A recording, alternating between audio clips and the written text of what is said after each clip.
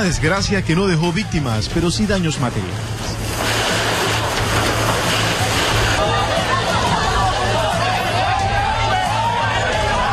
Y esto hizo que diversos organismos y entidades eh, llegaran hasta la isla Trinitaria en donde se suscitó el incendio que afectó a muchos. Ahora, hacer el cálculo de lo perdido.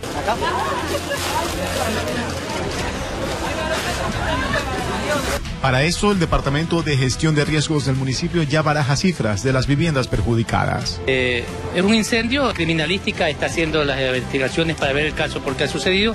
En resumen, son nueve casas, 13 familias y 48 damnificados. Los habitantes de la zona solicitan ayuda en el lugar, pues eh, los inmuebles eh, se redujeron a cenizas. Ahora con preocupación, no saben qué vendrá en el futuro. La gente desesperada comenzaba a gritar, a, a tirar cosas, porque imagínense que nosotros desesperados que estábamos para salvar las cosas que habían adentro y no podíamos. La gente con, con, lo, con, con, lo, que tenía tiraban agua. Todo perdió ella, sí, todo. Correcto. Sí. En este caso, ¿por qué se habría producido el incendio? ¿Qué es lo que de pronto le han dicho? Dicen que es un cortocircuito, eso es lo único que se sabe que es un cortocircuito.